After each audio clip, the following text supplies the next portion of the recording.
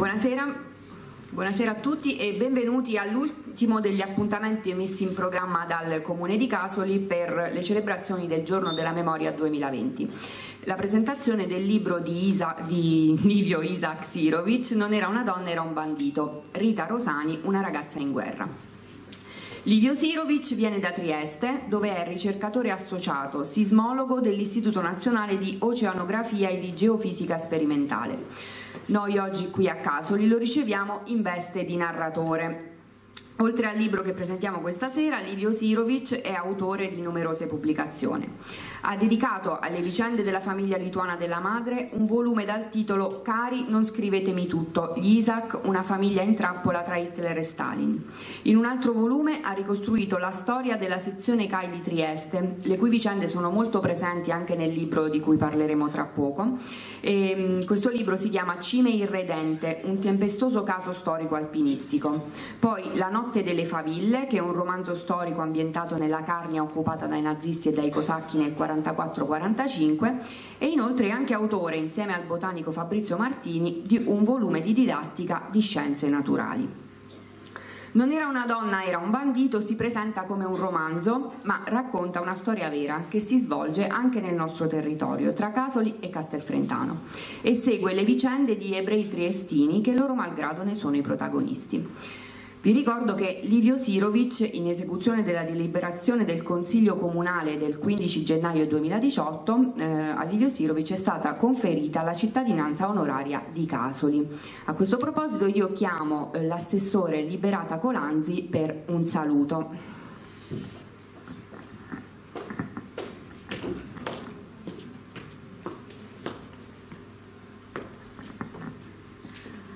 Buonasera a tutti. Eh, come è stato già detto, eh, Livio Sirovic è cittadino onorario di Casoli. Lo ringraziamo per eh, questa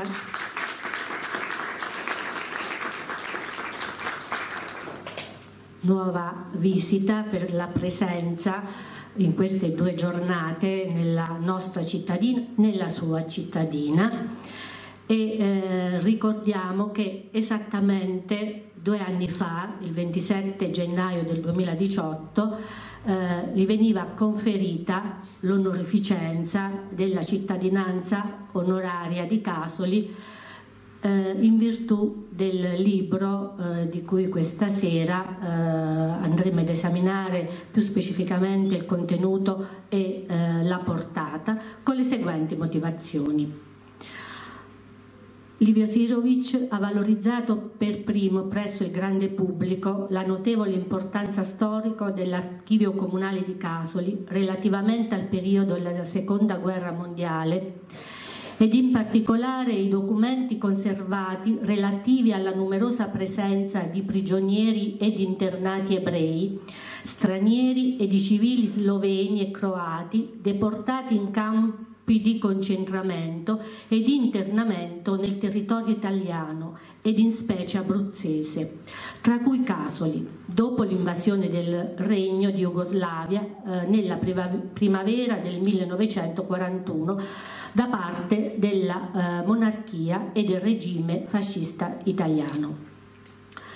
Con il suo libro Non era una donna, era un bandito, Rita Rosani, una ragazza in guerra, ha contribuito a far conoscere al grande pubblico le dolorose vicende accorse a Casoli durante la seconda guerra mondiale agli internati e deportati ebrei e ha saputo, dopo essere venuto in possesso di alcune corrispondenze epistolari del 1941-43 ed avvalendosi di interviste e testimoni dell'epoca, raccontare con maestria la Casoli di allora ed il comportamento della comunità casolana in quel drammatico periodo storico, manifestando una profonda empatia verso chi all'epoca venne travolto da vicende di particolare tragicità.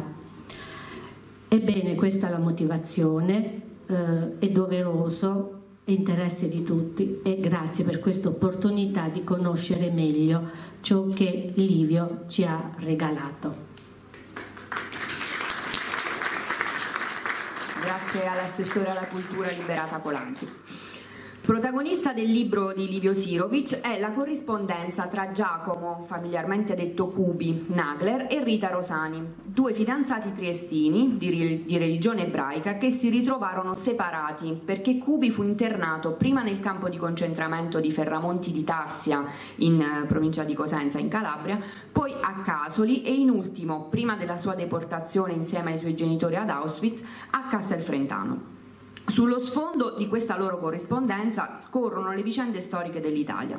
L'autore ci rende partecipi dell'inaspirsi dei sentimenti antisemiti, dei disagi quotidiani legati alla guerra e dell'evolversi del conflitto nel, nello, nello scacchiere internazionale, con un particolare sguardo su Trieste che, tra tutte le città d'Italia, ha una storia e un tessuto sociale molto complessi. Le famiglie Nagler e Rosani saranno distrutte, i Nagler in un campo di concentramento, mentre Rita Rosani, che diventerà partigiana, morirà in combattimento armi in pugno sul Monte Comune, nel Veronese.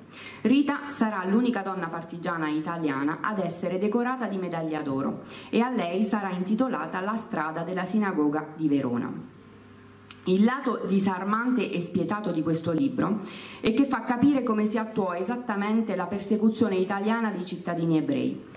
Con l'emanazione delle leggi razziali il loro destino fu irrimediabilmente segnato. In un crescendo assistiamo alle discriminazioni, alle vessazioni, alle spoliazioni, poi con l'avvento della guerra all'imprigionamento, alla cancellazione dell'identità e per molti di loro alla soluzione finale. Questo libro di Sirovic per Casoli ha avuto la funzione di una pietra d'inciampo, ha creato una grande partecipazione emotiva. L'arrivo da Trieste della foto di gruppo degli internati sulle scale, che tutti conosciamo ormai, o vedere Cubi con i carabinieri alla villetta di San Francesco, il vederli a casa nostra e sapere dove sono andati a finire, è stato sconvolgente e ci fa anche sentire in colpa. Prima di passare la parola ai relatori, io vorrei segnalarvi che su iniziativa del Liceo Scientifico Galileo Galilei di Lanciano lo scorso 7 gennaio sono state messe in opera dall'artista tedesco Gunther Demnig le pietre d'inciampo per le famiglie Nagler e Fürst a Castelfrentano che fu il luogo del loro ultimo domicilio. Cominciamo quindi con eh, l'analisi di, di, questo libro, entriamo nella presentazione e iniziamo con Giuseppe Lorentini, storico, ideatore e responsabile curatore del Centro di Documentazione Online del campo di concentramento fascista di Casoli 1940 44 e autore del volume L'Ozio Coatto. Allora, innanzitutto buonasera a tutti. Ehm, allora, io oggi, questa sera mi limiterò semplicemente a fare qualche domanda a Livio perché ci saranno eh, ben due relazioni molto più approfondite sui contenuti eh, sia letterari che storici del libro.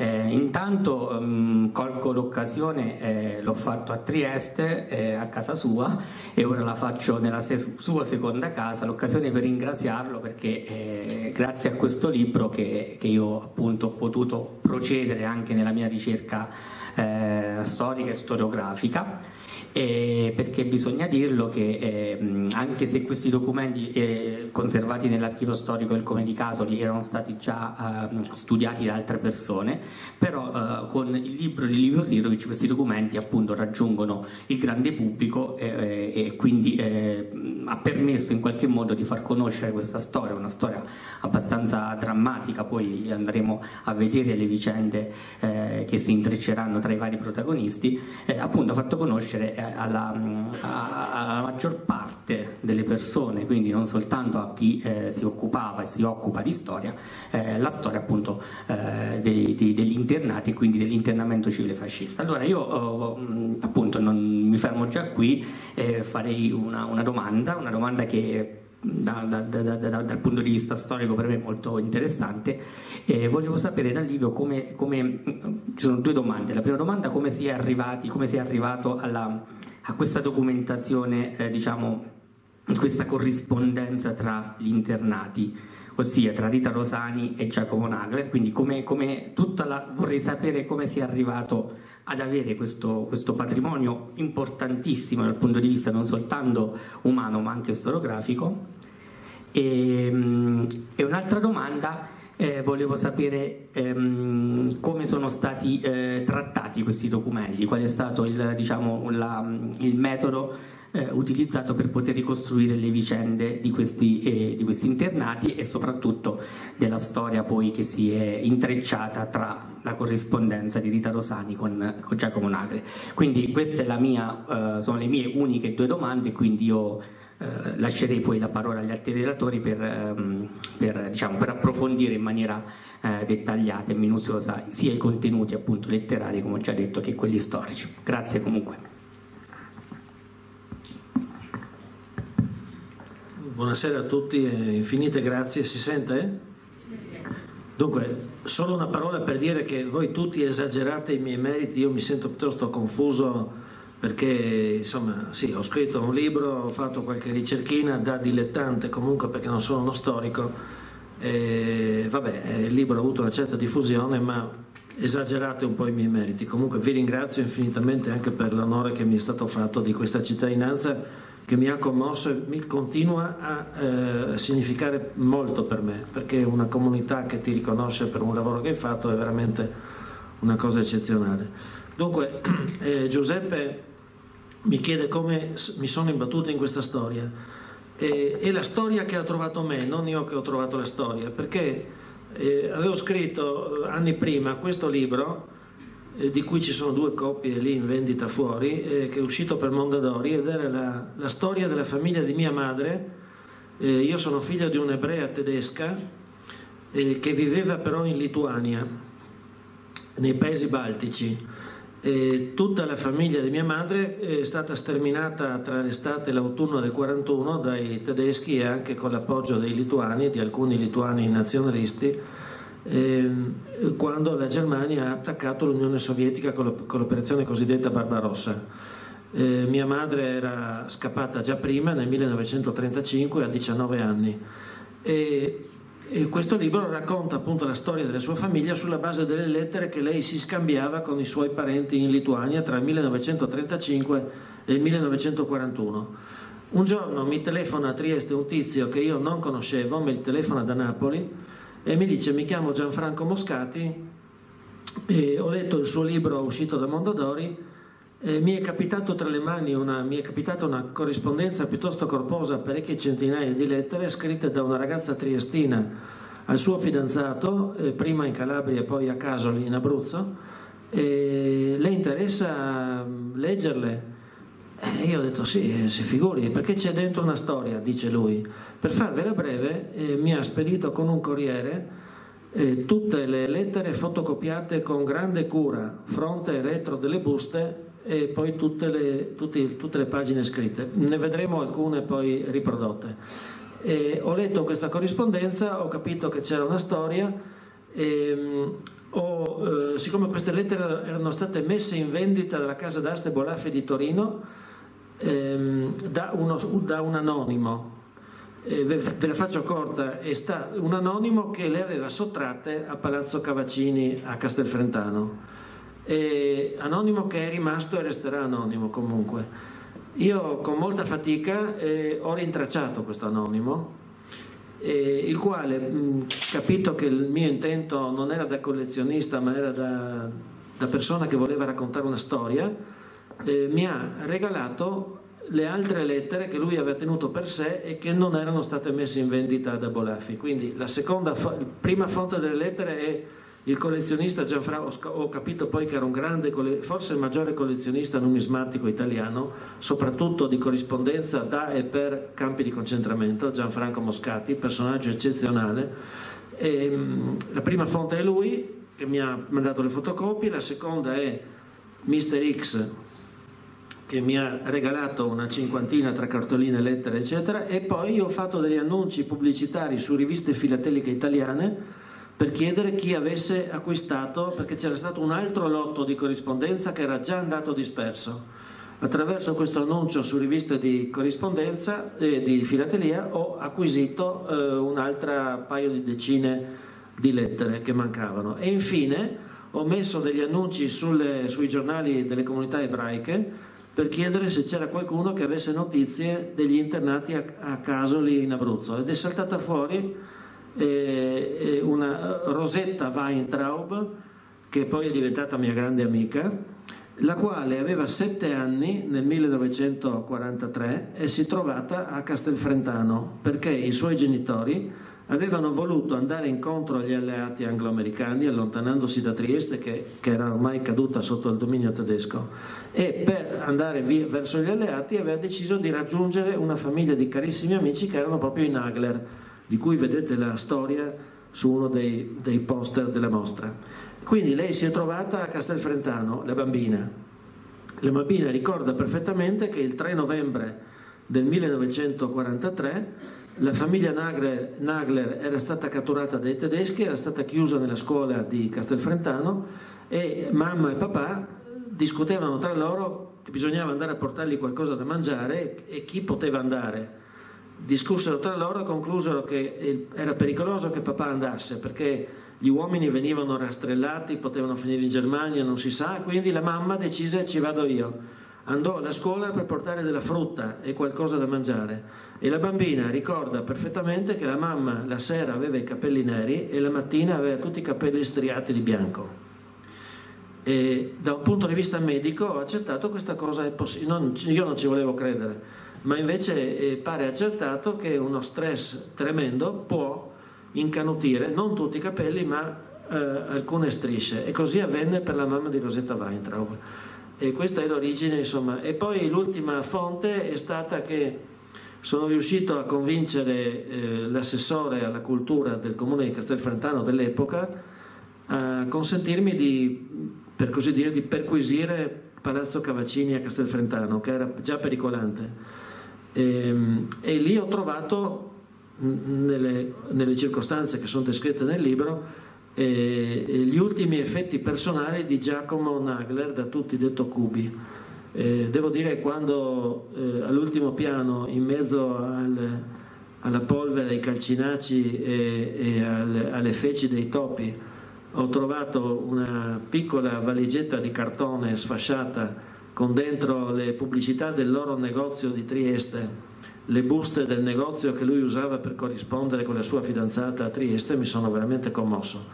E tra l'altro anche le scarpe che vedrete fotografate, che lui aveva delle scarpe eleganti alla moda dell'epoca, bianche con finiture di pelle marrone, che lui aveva scritto di voler eh, reindossare a Trieste quando fosse stato libero avesse potuto sposare Rita e quindi qui a, Castel- a Casoli aveva portato le scarpe da un calzolaio e si era fatto applicare degli grossi spessori di cuoio di almeno 4 mm sotto le, i tacchi e anche sotto le piante in modo da non consumare tacchi e, e, e, suole originali della scarpa. Quindi lui camminava sui tacchetti sostanzialmente per non, per non rovinarle.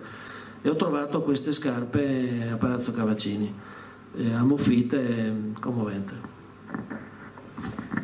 Grazie Livio. Ascoltiamo un brano da, dal libro Non era una donna, era un bandito.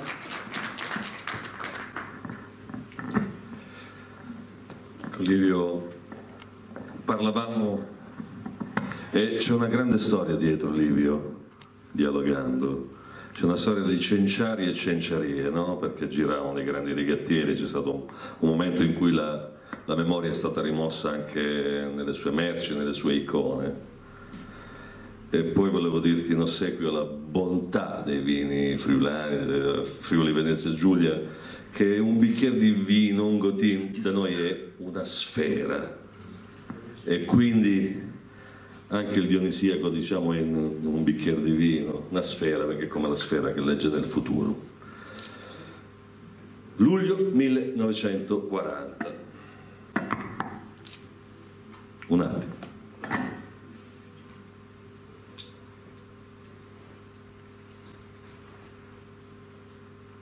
luglio 1940.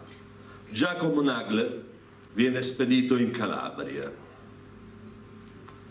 A Trieste, Cubi venne messo in cella una settimana dopo il padre, il 30 giugno, e rimase in quello schivo quasi un mese.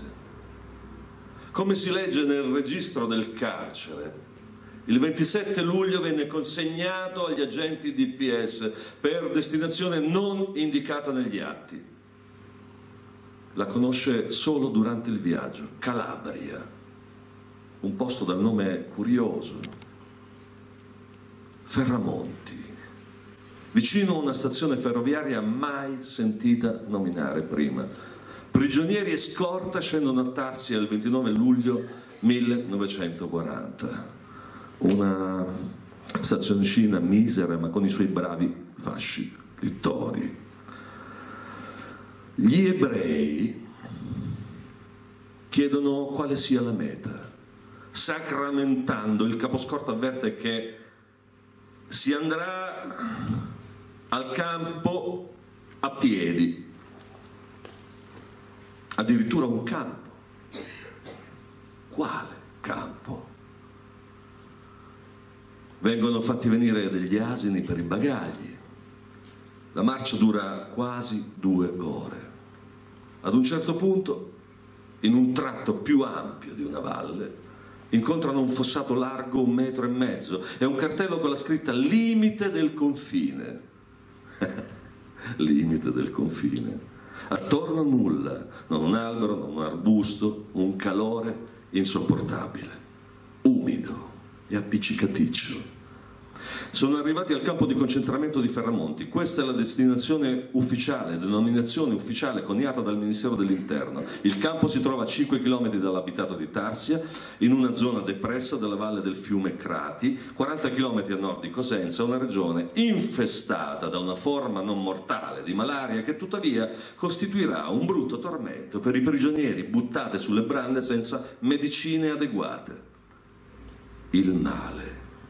Sulla località la Direzione Generale della Sanità aveva espresso parere negativo, ma il Ministero, Mussolini, l'aveva scelta ugualmente per favorire gli interessi del costruttore Parrini, che in quel caso desiderava riciclare sul posto certe sue vecchie baracche, lavori e che aveva ottenuto anche gli appalti di altri campi.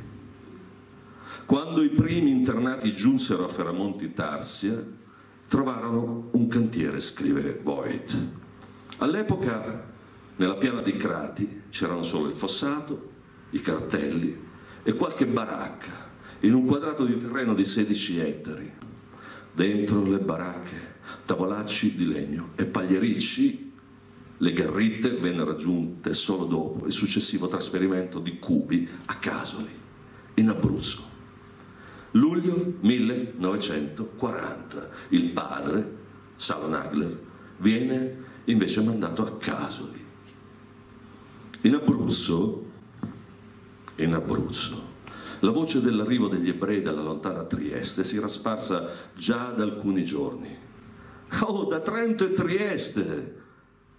Quel pomeriggio, mentre la colonna di prigionieri a piedi con la scorta dei carabinieri il seguito di carretti per i bagagli saliva a passo lento i tornanti polverosi della strada del Sangro, ogni rupe del presepe aveva il suo ciuffo di ragazzini e ogni finestra due o tre curiosi impazienti di vedere chi arrivasse dalle città, per cui erano morti i casolani ricordati sul monumento in piazza. Quando la colonna entrò in paese, i ragazzini divennero un codazzo allegro e vociante. Ci lasciarono a bocca aperta, soprattutto le scarpe, racconta oggi uno di quei ragazzi. Quelle portate dagli ebrei erano completamente diverse da quelle di noi cristiani, lucide sotto la polvere, metà bianche, metà marroni con i disegni. Sembrava strano che potesse starci dentro un piede da adulto. Gli ebrei dovevano avere i piedi più stretti dei nostri, probabilmente. Non si erano mai viste scarpe così a caso lì.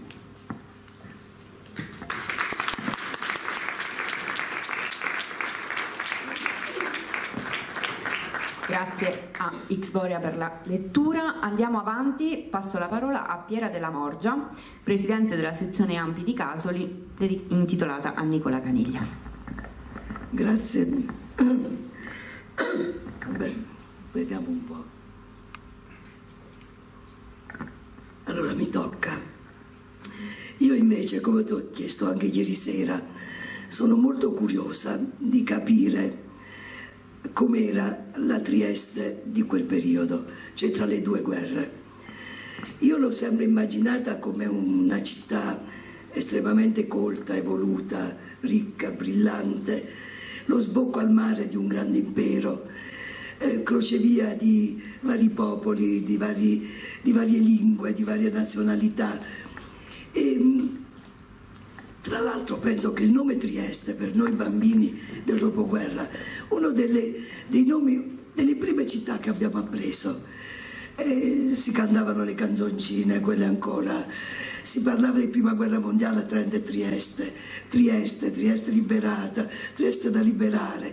Trento e Trieste per me erano vicine come Casoli e Lanciano, come Chieti e Pescara, non sapevo bene come fossero sistemate, però ho sempre avuto l'idea anche di una città elegante, com'è che di colpo, in poco tempo, si passa da questa immagine che forse è errata al fatto di avere, di esprimere tanti fascisti, cioè un cambio così repentino che mette in tale difficoltà tutti gli stranieri, tutti gli ebrei, quelli che diventeranno apolidi perché gli viene sottratta la cittadinanza italiana o magari non l'avevano.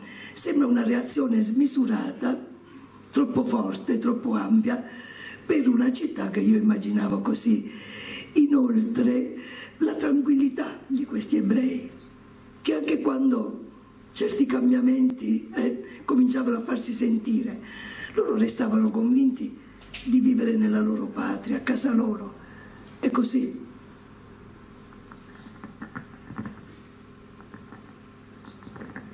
Sì, dunque eh, ho messo questa immagine per, per farvi vedere che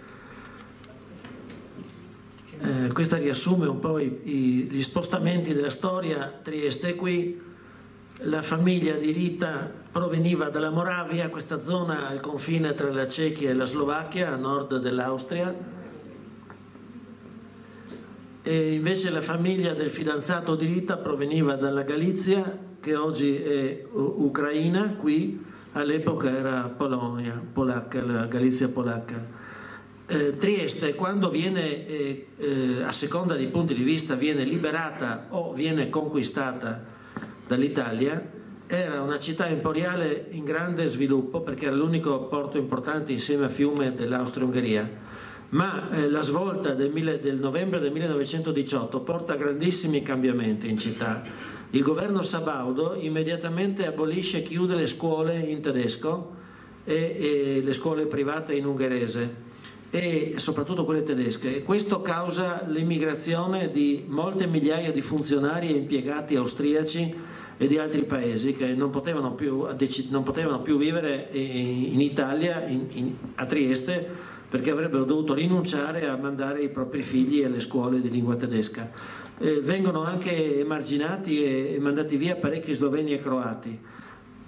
Poi c'era stata l'influenza spagnola la città aveva perso alcune migliaia di abitanti perché morti a causa di questa epidemia. Quindi il governo Sabaudo eh, favorisce l'immigrazione di alcune decine di migliaia di italiani, soprattutto dalla Puglia e da altre zone del meridione. Le immigrazioni vengono, se le persone eh, eh, a eh, cui viene concesso di eh, immigrare a Trieste vengono selezionate anche da un punto di vista politico-patriottico eh, perché si vuole favorire l'italianizzazione della città. La città è molto mista perché è da sei secoli sotto il dominio degli Asburgo. E a Trieste all'epoca era una città multilingue, multietnica. L'irredentismo, cioè i patrioti italiani che desideravano eh, che Trieste si congiungesse con il regno di Savoia, non erano numerosissimi, nonostante la, eh, la versione diciamo, dei fatti che si è poi affermata in Italia. Erano, erano una minoranza di intellettuali, eccetera. Quindi eh, forte, questo forte cambiamento di popolazione incentiva vari commercianti e imprenditori ebrei del centro Europa a venire a Trieste perché Trieste nell'immaginario, nel loro immaginario era una città in grande sviluppo economico dalla quale molti imprenditori eccetera come ho detto poc'anzi eh, eh, andavano via e quindi c'erano opportunità di inserirsi. I, eh, la famiglia della, di Rita Rosani, la maestra 23enne triestina ebrea, veniva come ripeto dalla Moravia ed erano, eh, lavoravano in una grande eh, azienda di spedizioni che aveva la sede centrale a Budapest ed era gestita da parenti. Rosenzweig era il nome originario della famiglia che poi è stato italianizzato in Rosani nel 1928. E, però quando i, i, i Rosenzweig arrivano a Trieste trovano già una città trasformata loro arrivano nel, nel giugno del, del, 1920 e il 13 luglio del 1920 eh, le, squadre, le prime squadre fasciste e nazionaliste di Trieste danno alle fiamme un grande edificio nel centro della città che si trovava a 80 metri linea d'aria da casa loro. La mamma di Rita era già al, al dunque Rita nasce in novembre, questo siamo in luglio, era il sesto mese di gravidanza e, e, si spaventò molto perché a 80 metri da casa sua venne dato alle fiamme un enorme edificio moderno, modernissimo, che conteneva un teatro, associazioni sportive, banche, un albergo, eh, studi professionali ed era il centro de- culturale della comunità slovena, croata e, e ceca di Trieste. Ma i nazionalisti, fascisti e nazionalisti italiani, danno le fiamme questo edificio che nella loro visione della città costituiva un insulto straniero, perché la città doveva essere solamente italiana. I, gli, i Rosenzweig sono molto meravigliati e spaventati da questo fenomeno.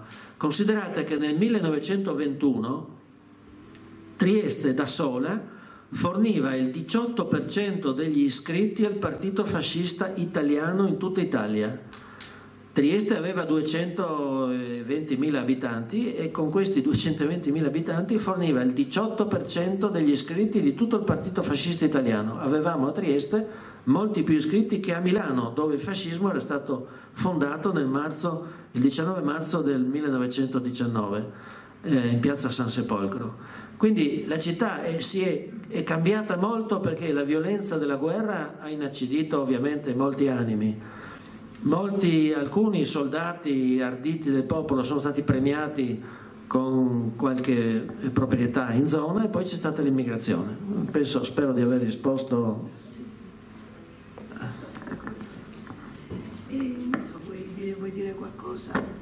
Io ho qualche altra domanda da pormi, in modo che facciamo un giro, facciamo parlare lui, dai. Allora, quindi facciamo parlare il professor Gianni Orecchioni, insegnante storico. Nel suo libro I sassi e le ombre, storia di internamento e di confino nell'Italia fascista, che è stato edito nel 2006, eh, lui dedica un capitolo piuttosto ampio alla, alla, vicenda dei Nagler e quindi l'aveva già ricostruita in modo anche mh, dettagliato. Prego professore. Eh, sì, allora grazie insomma, per questa partecipazione e soprattutto sono contento di stare qui a presentare questo bellissimo libro eh, di Divio Sirovic, un libro che appassiona molto nella lettura, cattura. E se un libro in qualche modo cattura il lettore vuol dire che funziona, funziona molto bene. E per me questa emozione nella lettura era, era doppia perché riguardava appunto una storia che già conoscevo la storia della famiglia Nagler, ma anche la storia dei Grauer, insomma di altre persone che qui erano state arrestate e poi portate alla morte ad Auschwitz. E quindi scoprire invece di queste lettere, sapevo che c'era la fidanzata triestina, invece questo mare di documenti che sono usciti fuori, chiaramente per me è un interesse storico notevolissimo, anche perché la mia idea di lavoro storico è stata sempre quella di mettere al centro la persona, le persone, raccontare le storie, perché eh, la vera storia è quella che riunisce eh, diciamo, il dato eh, diciamo, d'archivio con la vita concreta delle persone. Come dire che il vero racconto è quello che alla fine è un misto di eh, documento storico, di storia, ma anche di arte, perché attraverso la letteratura o altre forme di arte si respira meglio il senso delle cose, cioè c'è il vissuto, le emozioni che fanno parte della storia, della storia vera, della storia delle persone coinvolte in tutto ciò. E il libro è molto bello perché da un lato racconta una storia privata, si diceva questa corrispondenza tra due fidanzati molto diversi tra loro, tra l'altro, un po' per età, un po' per cultura ancora di più poi per le situazioni diverse che si trovavano a vivere. Però questa storia privata si intreccia con la storia, Tucur, adesso insomma un breve flash è stato fatto sulla situazione di Trieste, città veramente colpita dal furore nazionalista e razzista che si è scatenato in Italia e che dovrebbe essere un po' al centro di una riflessione anche più importante, diciamo che tutta la parte relativa al confine nord-orientale dell'Italia è poco conosciuta e spesso è fonte soprattutto di rotture delle visioni del mondo.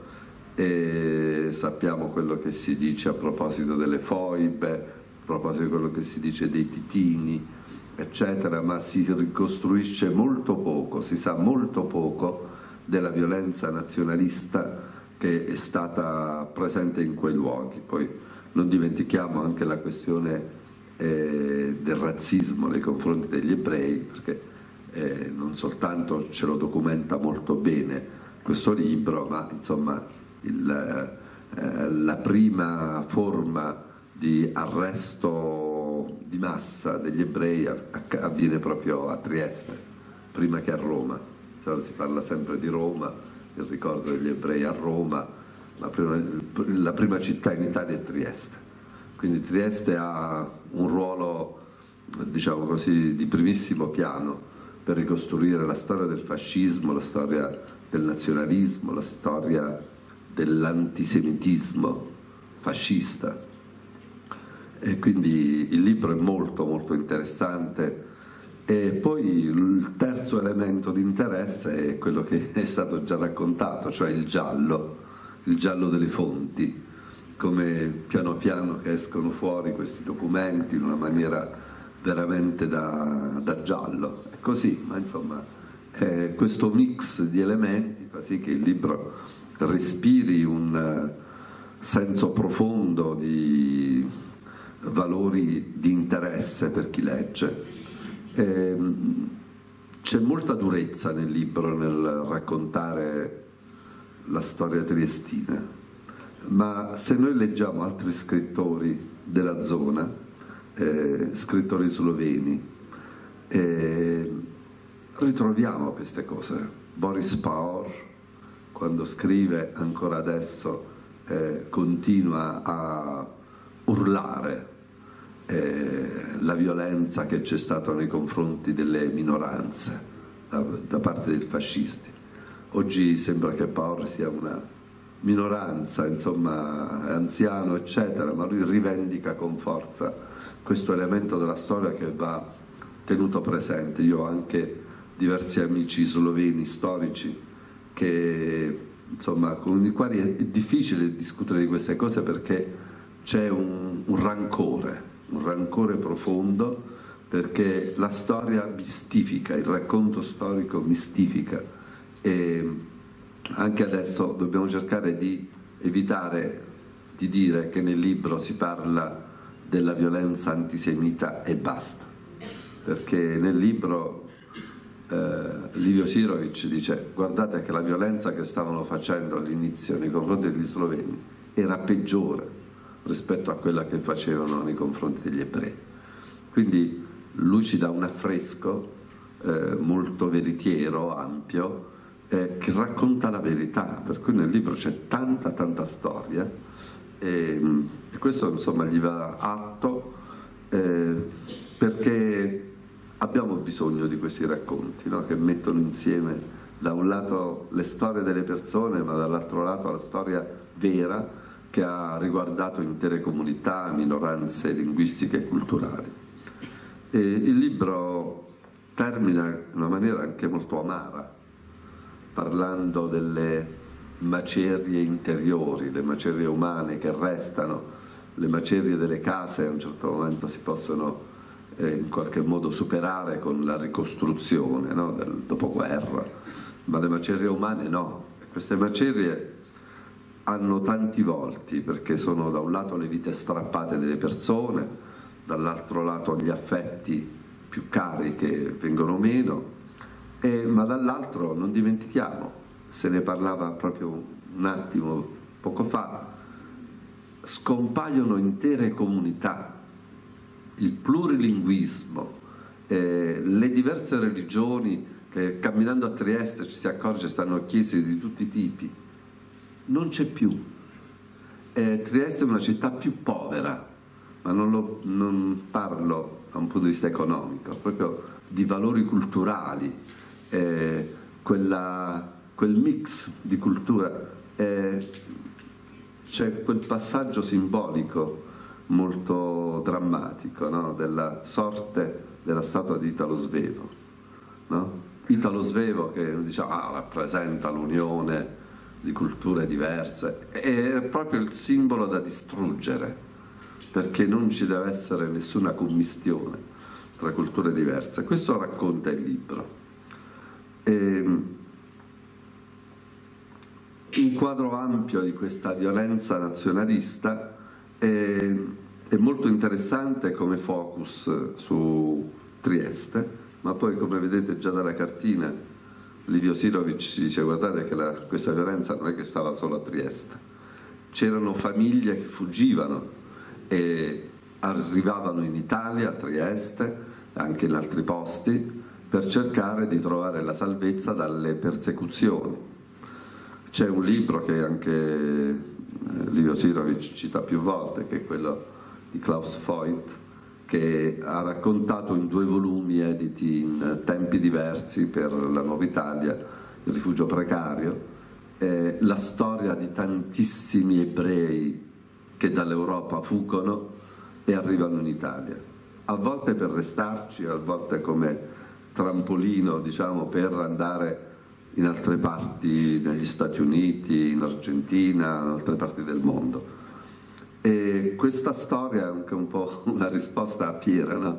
perché venivano qui? Venivano perché da un lato erano disperati, da un lato Trieste aveva una capacità attrattiva, c'era già una comunità ebraica importante, quindi era più facile potersi inserire anche dal punto di vista del lavoro, ma in realtà c'è un, un vero e proprio esodo dall'Europa degli ebrei perseguitati e l'Italia diventa per un periodo un territorio in cui questo rifugio si poteva trovare perché non ancora venivano fuori le leggi eh, razziste del 38. Le leggi razziste del 38, come sapete, insomma, abbiamo anche un po' raccontato nella mostra, eh, riguardavano in particolare gli ebrei italiani eh, viceversa, con l'entrata in guerra dell'Italia, eh, la deportazione nei campi riguardavano gli ebrei stranieri, quindi c'è una, eh, un andamento legislativo dei provvedimenti eh, di carattere militare, se volete, legati alla sicurezza, che non sono lineari, che hanno una logica precisa che molto spesso è difficile raccontare a chi non è dentro questo tipo di studi e questo tipo di ricerca. Per cui se si era ebrei stranieri si finiva in un campo di concentramento, se non si era ebrei stranieri si avevano tante altre limitazioni che adesso non stiamo a raccontare, abbiamo un po' raccontato qualcosa nella mostra perché per quanto la mostra possa essere ampia eh, diciamo che c'è veramente tanta tanta storia da raccontare. E la cosa interessante è che c'è un collegamento tra questa storia di Trieste, degli ebrei in fuga e l'Abruzzo. Perché in Abruzzo abbiamo raccontato, abbiamo avuto il maggior numero di campi di concentramento, il maggior numero di luoghi di internamento e riservati ai confinati politici. Quindi noi qui abbiamo detenuto gli ebrei che venivano arrestati come ebrei stranieri da Trieste. Abbiamo avuto, e, parlo perché c'è una sorta di gemellaggio in realtà tra Casoli e Lanciano. Prima gli ebrei, no? due, due vite nel campo, a Casoli maschile, a Lanciano femminile, ma prima gli ebrei stranieri, poi i prigionieri che arrivavano dalla ex Jugoslavia. Quindi le minoranze da un lato, gli oppositori politici dall'altro, insomma tutto questo universo che un po' il libro ci ha raccontato, è arrivato qui sotto forma di detenzione nei campi. Per cui questo libro parla molto anche del nostro territorio.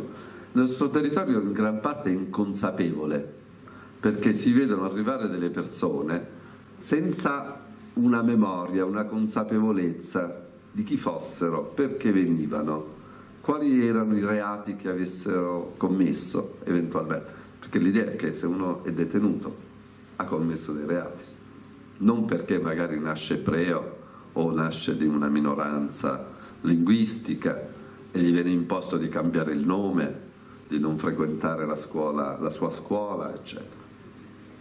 Viene distrutta una letteratura, case della cultura slovena, eccetera. Quindi nel libro c'è tanta violenza che faceva però da controcanto a una storia d'amore anche banale, no?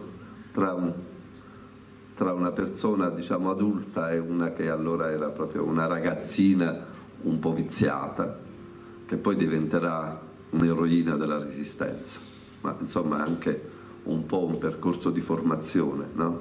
per Rita Rosani che ci porta a questa, a questa situazione.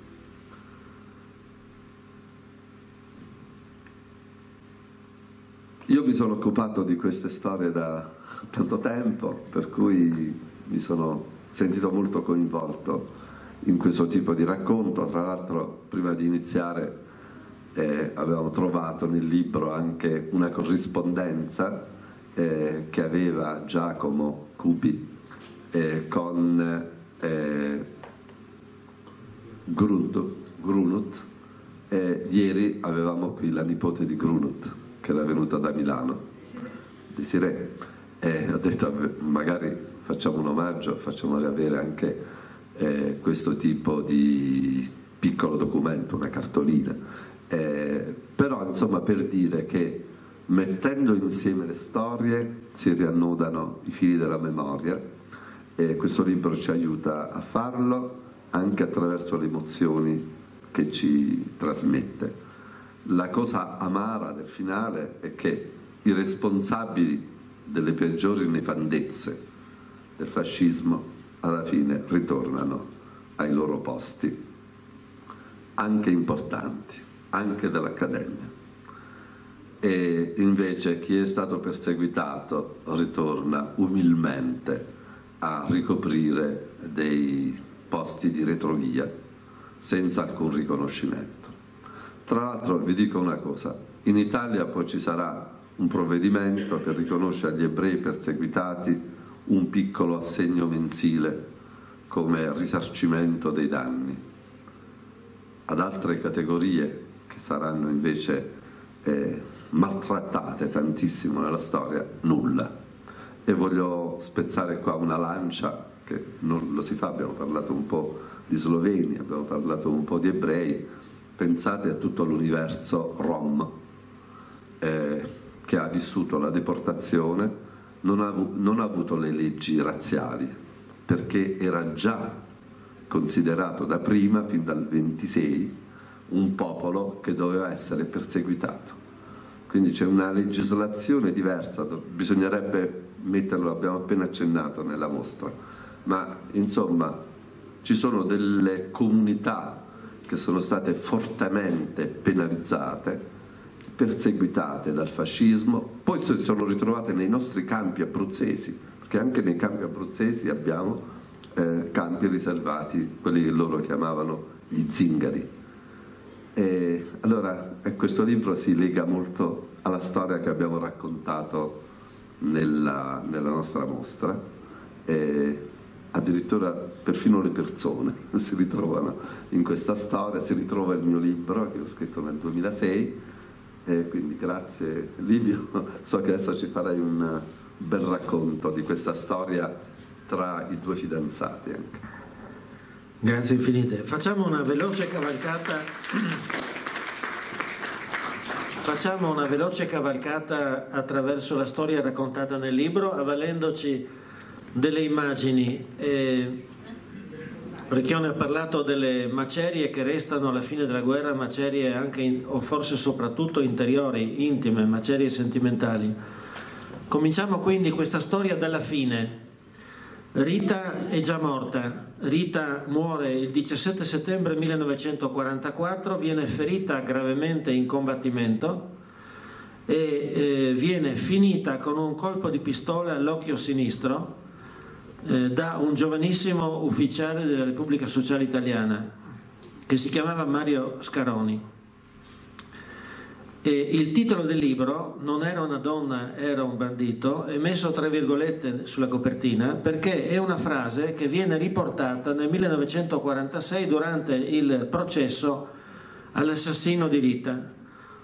Il prete di Alcenago, il villaggio del Fondovalle che è venuto a eh, benedire le, le salme dei morti in combattimento, ha sentito che uno dei militi fascisti chiede al suo tenente, Scaroni appunto, e gli dice, signor tenente, parlando in dialetto veneto, come farà adesso che ha ucciso una donna? Perché anche al milite fascista sembra una cosa grave aver ucciso una donna. E il giovanissimo, da pochi giorni diciannovenne, pensate che tragedia è stata la seconda guerra mondiale, qui non si tratta di condannare lo Scaroni per quello che ha fatto, aveva poco più di 18 anni, sono pochi giorni più... Scaroni risponde, non era una donna, era un bandito, da cui il titolo, perché l'ordine che avevano le truppe, sia tedesche che italiane collaborazioniste, era che in qualche modo anche in accordo con gli accordi di Ginevra, bisogna dire, dell'epoca, i civili sorpresi a usare le armi contro un esercito regolare potevano venire passati per le armi seduta stante e quindi Rita ferita viene finita con un colpo di pistola. Nel 1946, nell'anniversario del, del compleanno di Rita, era nata il 20 novembre del 1920, la mamma di Rita manda una fotografia della figlia, Rita Rosani, che vedete qui ripresa, a una delle sue migliori amiche che si chiamava Nora Bauer. E qui ci sono anche dei collegamenti personali. Mia madre purtroppo è morta eh, prima che io mi interessassi a questa, a questa storia, ma alcune delle migliori amiche di Rita erano anche migliori amiche di mia madre. Io non so se mia madre conoscesse Rita, non ho nessun indizio, però avevano almeno tre buone amiche in comune. Parentesi nella parentesi, vi ho detto che mia madre era ebrea, mio padre era cattolico, io sono stato allevato da cattolico e non ho ricevuto nessuna cultura ebraica e per dire la verità non mi ritengo ebreo. Questo per chiudere la parentesi, il mio coinvolgimento c'è nel libro e ovviamente per varie ragioni anche perché mia madre era tangente a questa storia a Trieste. Leggiamo insieme per capire la sofferenza atroce. Rita era figlia unica. Entrambi i genitori sono morti nei primi anni 50, poi eh, la madre di crepacuore e il padre qualcosa del genere probabilmente. E la mamma di Rita regala questa foto a Nora Bauer e le scrive per ricordo della nostra indimenticabile unica figlia Rita, caduta in combattimento il 17 settembre 1944 sul Monte Comune presso Verona, alla sua amica cara Nora Bauer. e firma così, i desolati genitori Rosa, nome della mamma, e Rita Rosani. Un lapsus. Invece di firmare a nome della mamma e del papà, lei ha talmente in testa il nome della figlia che firma Rosa e Rita Rosani. Trieste, 20 novembre 1946. Qui vediamo Rita per la festa del cosiddetto carnevale ebraico, che si chiama Purim, è una festa in cui gli ebrei si usano travestirsi e festeggiare, ma ricordano una salvezza portentosa avvenuta in Babilonia durante l'esilio. È una specie di carnevale, ma non è carnevale. Si chiama Purim e qui è Rita, eh, circa nel 1930, quindi circa dieci anni d'età, si è vestita da olandesina eh, la famiglia era benestante, era media borghesia. Eh, e vi ho mostrato questa immagine perché e poi ritornerà. Eh, qui vedete la foto di classe al liceo Carducci di Trieste, dove insegnava Eugenio Colorni, che era il responsabile del centro interno del Partito Socialista in Italia, cioè il principale leader socialista italiano, insegnava in questo liceo. Ma eh, non risulta aver avuto contatti con Rita, non era comunque uno dei suoi insegnanti.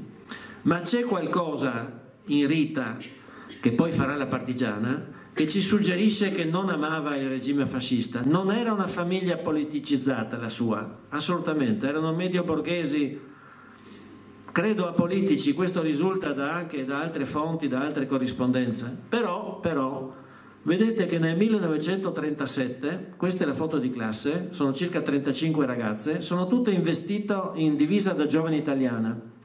Quella patacca chiara che tutte le ragazze hanno sulla cravatta è il testone di Mussolini.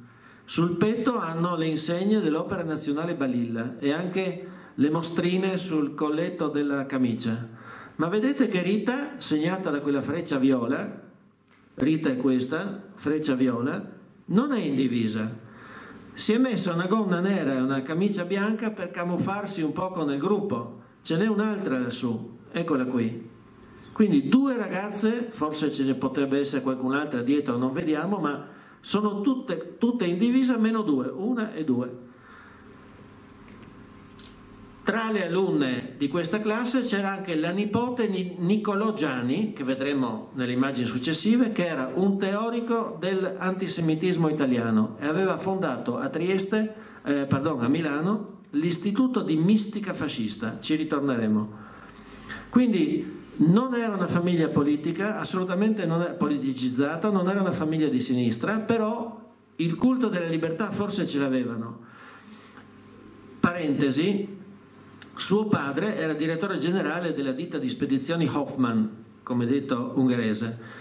Il presidente di questa stessa ditta di spedizione era l'avvocato Forti, ebreo, il quale era stato, come diceva il regime, discriminato, cioè perdonato dalle discriminazioni contro gli ebrei. E quindi eh, suo figlio aveva potuto frequentare l'università, era stato, era stato perdonato, diciamo così, dal regime fascista per i suoi meriti patriottici.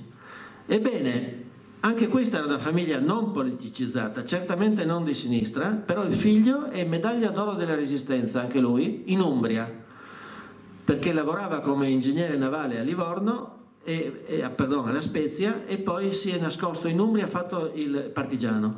È stato torturato a morte perché non voleva rivelare il nascondiglio dei suoi compagni. I giornali alleati dell'epoca lo celebrano come uno dei più fulgidi esempi di eroismo della seconda guerra mondiale. A Norcia, in piazza, ha un monumento dedicato. Ed era il figlio del presidente della ditta di spedizioni di Trieste e la figlia del direttore generale e anche lei medaglia d'oro. Quindi c'era qualcosa in questo gruppo di persone, di amici che si opponeva al fascismo, ma non, lo, non conosciamo i dettagli.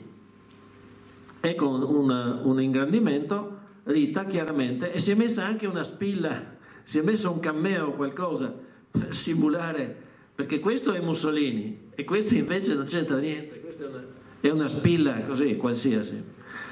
All'epoca la scuola eh, cercava di instillare un orgoglio fascista negli allievi per trasformarli, queste sono foto d'epoca, in soldati. Mussolini aveva questa idea che l'Italia doveva ritornare grande nel mondo e conquistare un impero, voleva ripristinare l'impero romano e Re d'Italia era ben felice di avere la prospettiva di diventare imperatore. Come sappiamo poi nel 1936 si è proclamato imperatore quando abbiamo preso l'Abissinia. E, ecco, invece la vita di Rita era molto più semplice. Questa foto è del 1937, ritratta eh, in Piazza Unità d'Italia, Trieste, Rita è questa e queste sono alcune delle sue amiche e sul diario della, di una sua compagna di classe si legge questo a proposito di questa, di questa fotografia. Ehm, che scattò, eh, sono innamorata di Robert Taylor, punto esclamativo. Robert Taylor era uno dei principali attori cinematografici americani dell'epoca. Sono innamorata di Robert Taylor, punto esclamativo. Tutta la mia classe ne è pazza. Oggi dopo pranzo siamo andati a cercare una fotografia per tutte le cartolerie di Trieste, non l'abbiamo trovata. Speriamo che arrivi presto. E sul suo diario questa compagna di classe ha dipinto eh, il, l'attore italiano Valenti, che era molto popolare all'epoca e farà una fine drammatica a Milano nel 1945 perché insieme alla sua compagna Ferida, che era anche una famosissima attrice dell'epoca, lui era diventato ufficiale della Repubblica Sociale Italiana e vengono uccisi dai partigiani eh, insieme.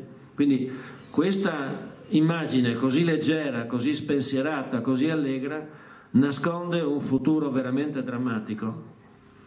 E conclude la didascalia di questa compagna di classe di Rita, com'è bello essere giovani, com'è bella la vita. Io sono felice come non mai, ma Rita doveva avere qualcosa dentro di non così semplice come le sue compagne di classe. E lo vediamo da questa didascalia che sto per leggervi. Allora, vediamo sulla sinistra un pupazzetto di Pannolenci vestito da olandesina. Vedete che c'ha il fazzoletto in testa con le ali, è un po' rovinato il pupazzetto, però ha il grembiolino, è vestita da olandesina. Rita aveva i capelli rossi questo è un pupazzetto quindi autobiografico in un certo senso. Rita aiutava la mamma ad assistere i profughi ebrei che scappavano dall'Europa centrale e venivano assistiti da un comitato di assistenza della comunità ebraica triestina che contava all'epoca circa 6.000 membri. E per Trieste passarono molte decine di migliaia di profughi e venivano assistiti, e, mh, alloggiati e rifocillati, in attesa di poter avere i visti per l'espatrio, comprarsi biglietti per le navi, eccetera, eccetera. E Rita aiutava la mamma eh, fa, cucendo delle bambolette di pezza, degli animaletti, insieme con i figli, le figlie, principalmente le figlie, dei profughi che scappavano dall'Europa. Questi due pupazzetti sono gli unici sopravvissuti Rita aveva un pupazzetto di questi con sé anche il giorno che venne uccisa sopra Verona. Ma questi due pupazzetti Rita li regalò a un suo spasimante, un suo giovane spasimante, un giovane alpinista dell'epoca che si chiamava Giovanni Bauer e che io ho avuto la fortuna di conoscere, molto vecchio, di intervistare, siamo anche diventati un po' amici Giovanni Bauer la corteggiava, Rita non era, non era, particolarmente bella, ma era vivecissima, aveva successo con i ragazzi, perché era argento vivo, come si usa dire. E Giovanni Bauer fu un corteggiatore sfortunato e Rita gli regalò due pupazzetti, in uno si era autorappresentata. E, e Giovanni ha conservato questi pupazzetti ed è rimasto legato alla famiglia di Rita al punto che poi nel dopoguerra curerà addirittura il funerale sia della mamma che del papà di Rita. E Rita Rosani, qui, qui c'è la sua firma, dedica, fa una dedica autografa all'amica Laura, compagna di classe, la data è eh, del 1934, quindi Rita ha 14 anni. E sentite cosa scrive alla sua compagna di classe. La sua compagna di classe è quella che ha fatto quella didascalia allegra, spensierata, Robert Taylor, eccetera. E Rita invece scrive: Il mare della vita è borrascoso assai. A pochi è dato di superare incolubi le tempeste. Ci vuole coraggio e costanza, e ha sottolineato coraggio e costanza.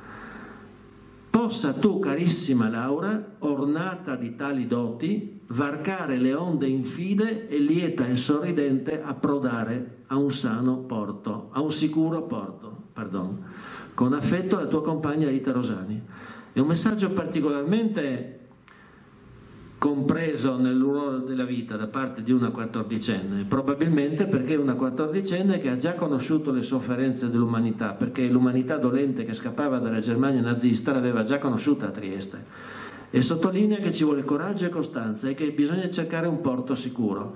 Non sappiamo se il porto sicuro a cui Rita si voleva alludere fosse il matrimonio, che era lo scopo principale per cui venivano educate le ragazze all'epoca, oppure effettivamente un paese finalmente sicuro in cui vivere. Questo è il libro di ricette della famiglia Rosenzweig Rosani, conservato da Giovanni Bauer, sempre lo spasimante deluso forte alpinista che nel 1938, quando il club alpino italiano buttò subito fuori gli alpinisti ebrei dal, dai ranghi dei soci, venne buttato fuori a calci nel sedere dal suo compagno di, di cordata che si chiamava Claudio Prato. Questo Claudio Prato eh, il libro si dilunga un po' su queste vicende degli, dei giovani alpinisti escursionisti dell'epoca perché anch'io vado in montagna, appassionatissimo, la montagna è qualcosa che si dice di solito unisce al di sopra delle idee diverse, eccetera, e questo è vero ma fino a un certo punto, come si vede nella storia che racconto, perché tra sloveni e italiani, tra ebrei e antisemiti o, o ariani tra virgolette, eh, tra partigiani comunisti e militi fascisti, magari iscritti allo stesso circolo alpinistico, non corse buon sangue e si arrivò fino alle estreme conseguenze, fino alle delazioni e alle uccisioni. E ho fatto questa digressione, allora questo è il libro di cucina che la mamma di Rita aveva deciso di regalare a Rita nel compimento della maggiore età religiosa. Gli ebrei diventano eh, maturi al dodicesimo anno d'età con la cerimonia che si chiama bar mitzvah per i, per i, per i maschi e bat mitzvah per le femmine. E al compimento quindi del dodicesimo anno la mamma di Rita regala questo quaderno che deve, essere, deve, diventare il suo libro delle ricette, perché la mamma spera che Rita diventerà una brava donna di casa e troverà un buon marito, che eccetera eccetera. Ma Rita aveva argento vivo in corpo e di questo, di questo, quaderno delle ricette non ha voluto saperne. Ha trascritto due ricette all'inizio poi ha mollato tutto e la mamma ha finito per usare il libro per se stessa, per, per le proprie ricette. E qui vedete che scriveva le ricette e sono riuscita a leggere, fidatevi, in ceco. Questa ricetta è scritta in ceco ed è scritta che è una ricetta del loro paese natale in Moravia, di Vesseli. Vesseli era il paese da cui venivano. Questa ricetta è scritta invece in italiano ed è, gli è stata data dalle signorine di Cinto, di Cinto Cao Maggiore, in provincia di Treviso, nel Veneto, dove la famiglia Rosani si è nascosta quando i tedeschi hanno conquistato Trieste dopo il 8-9 settembre del 43. Sono scappati, sono nascosti a Cinto Cao Maggiore e lì la signora Rosani si è fatta dare anche delle ricette dalle persone che la nascondevano nel loro alloggio. E infine ci sono le ricette in tedesco, questa ricetta lei l'ha avuta a Merano ed è una ricetta che lei ha ottenuto nel 1945, dopo la guerra. Ha rintracciato una cugina, l'unica cugina Hoffman che era sopravvissuta alla guerra, è andata a trovarla a Merano e ritrovandosi hanno parlato, eh, dopo essersi raccontate le, i disastri dei parenti persi, immaginate con che dolore, hanno ripreso anche un minimo di vita normale e la cugina Hoffman le ha dato una ricetta che la mamma di Rita ha trascritto in tedesco. Nell'estate del 1938 eh, Mussolini lancia il censimento, degli, censimento obbligatorio degli ebrei italiani e anche i rosani vanno al tribunale di Trieste, questa è l'entrata principale, questa è l'entrata principale del tribunale di Trieste, a compilare, autodenunciarsi come ebrei. E però insomma la circostanza viene anche sfruttata eh, amichevolmente dalle due famiglie Rosani e Nagler perché Rita si è fidanzata con Giacomo, con Cubi, e si fotografano davanti all'entrata del tribunale dove stanno per entrare a autodenunciarsi nel, nel censimento. Pochi, pochi anni dopo, nel settembre del 43, davanti all'entrata del tribunale, la scena sarà questa. Il tribunale diventerà la sede del Gauleiter nazista, Trieste verrà in pratica annessa al Terzo Reich e ci saranno le SS. Questa è la famiglia di, di, del fidanzato di Rita, eh, ripresa qui ancora in Galizia. erano benestanti, erano commercianti, produttori e commercianti di attrezzi di lavoro, lime, seghe, segacci da, da, da legname, eccetera, eccetera, utensileria. Avevano l'automobile che prima del 1920 era, era sintomo di notevole benessere perché erano poche le automobili all'epoca e Cubi, il nostro Giacomo Nagler, e questo ragazzino in piedi, eccolo qua. E questa è la sua famiglia. Scappano a Trieste anche perché in Polonia sono cominciate le persecuzioni non a livello di sterminio ma comunque a livello di pogrom, sì, di bastonamenti e di, e di vessazioni continue. Questo è la, la, la, il documento con cui Salo Nagler, il papà di, di Giacomo, viaggia dalla Galizia, arriva a Trieste. Eh, ve la faccio corta, insomma ci sarebbero tante cose da dire. Il retro del documento è stato, perché questo è un pezzo di carta in pratica, eh, leggero, insomma, eh, scritto solo in polacco, mentre i documenti con l'Austria-Ungheria erano quadrilingui. Questo invece è polacco, ormai sono in Polonia, eh, i polacchi sono nazionalisti, non amano gli ebrei, di grazia se gli danno un documento per espatriare. E la famiglia, per rendere il documento più stabile e più duraturo, ha incollato sul retro, con la colla di farina, un pezzo di scialle, un vecchio scialle da preghiera. Questo si chiama talit. Gli ebrei osservanti in sinagoga si coprono il capo per pregare con uno scialle bianco a righe nere o qualche volta blu, più spesso nere. E hanno riutilizzato, riciclato un vecchio scialle da preghiera per rendere più solido il documento. Qui siamo a metà degli anni 30 a Trieste, Giacomo, allegro e beato, con i suoi amici. Alcuni, alcune di queste ragazze erano anche amiche di Rita. Questa qui è stata mia professoressa di inglese al liceo scientifico che ho frequentato a Trieste. Quindi capite che so, non sono coinvolto ufficialmente, ma eh, insomma vengo da questo mondo in qualche maniera. Mm, tra l'altro non era per niente simpatica, detto tra noi. Era bene anche lei, si chiamava Eva Ratto, ma comunque insomma. Eh, questo è Cubi, Giacomo, con le famose scarpe che sono state trovate a Palazzo Cavaccini. Eh, via Pascoli 5 a Trieste, casa sua la casa e il portone sono identici a come sono adesso, è commovente vedere il posto, infatti così a mio scopo ve li ricordo, mi sono fatto fotografare, mi sono vestito di bianco e mi sono fatto fotografare eh, proprio con la stessa posa, con la mano sul, sulla maniglia e, e forse sono stato preveggente perché il giornale Il Centro è uscito l'altro giorno con una recensione anche del mio libro e e sotto la, la, fotografia di Giacomo Nagler hanno scritto Livio Sirovic. Quindi mi hanno... Io mi sono identificato con lui nello scrivere e alla fine non so perché il mio nome è passato sotto la sua fotografia. E questa è la pubblicità del, del loro negozio a Trieste, via San Nicolò numero 12, una via centrale molto elegante oggi, Ehm, nel 1938 hanno perso tutto perché le leggi razziali li hanno obbligati a mollare il negozio, non avevano più diritto di tenere un negozio.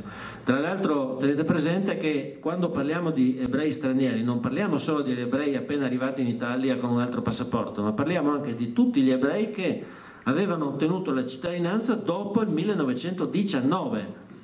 Tutti costoro hanno perso la cittadinanza per, per legge nel 1938, hanno perso la cittadinanza se l'avevano acquisita dopo il 1919. Anche Rita Rosani e i suoi genitori perdono la cittadinanza, anche se erano diventati cittadini italiani già negli anni 20.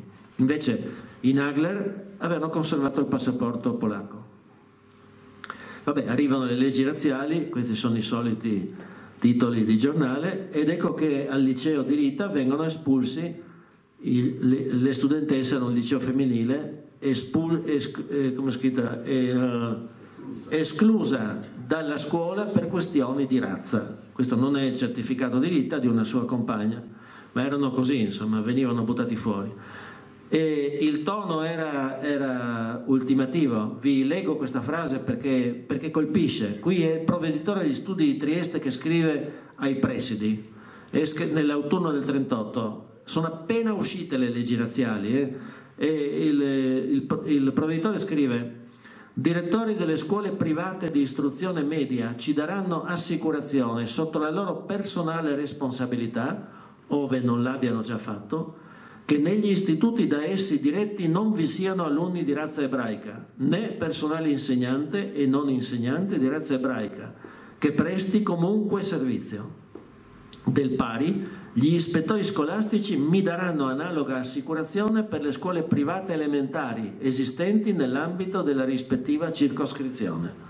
Sono ordini questi, non sono inviti e il club alpino italiano si affretta a mettersi in riga. Il 17 novembre 1938, sette giorni dopo l'uscita delle leggi razziali, cioè a tamburo battente, quando non era ancora obbligatorio farlo, perché l'espulsione del club alpino italiano diventerà obbligatoria dopo parecchi mesi, ma il club alpino di Trieste vuole far vedere di essere più realista del re.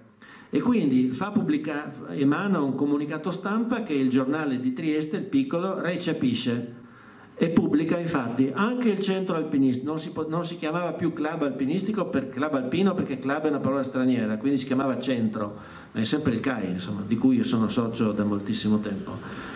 E questa è la mia sezione, eh, questa che, che, che mette questo annuncio, è la mia sezione. Anche il centro alpinistico è purato dai soci ebrei, veniamo informati che rapidamente, radicalmente, anche la sezione di Trieste del centro alpinistico italiano ha epurato le proprie file dagli elementi di razza ebraica e come vi anticipavo il compagno di cordata di Giovanni Bauer, il corteggiatore di Rita, ha buttato fuori dalla sede a calci nel sedere il suo compagno di cordata. Questo Claudio Prato, che ha fatto, commesso questo gesto, ha, credeva di avere una grave coda di paglia, il suo cognome, Prato. È un tipico cognome ebraico, i cognomi di città spesso sono nomi di ebrei. E in quel momento il rabbino capo di Roma si chiamava Prato, quindi lui, fascista, convinto, voleva sottolineare la propria arianità e quindi in prima fila ha buttato fuori gli, i, i, compagni eh, di, di alpinismo ebrei, perché si chiamava Prato e la cosa era imbarazzante. Ed ecco, eh, qui siamo a Roma, Palazzo Venezia, questo è il Duce, lo vedete, riceve, siamo nell'autunno del 1939 e Mussolini celebra il primo anno dall'entrata in vigore delle leggi razziste e per celebrare l'avvenimento ha ricevuto il consiglio direttivo dell'Istituto di Mistica Fascista di Milano.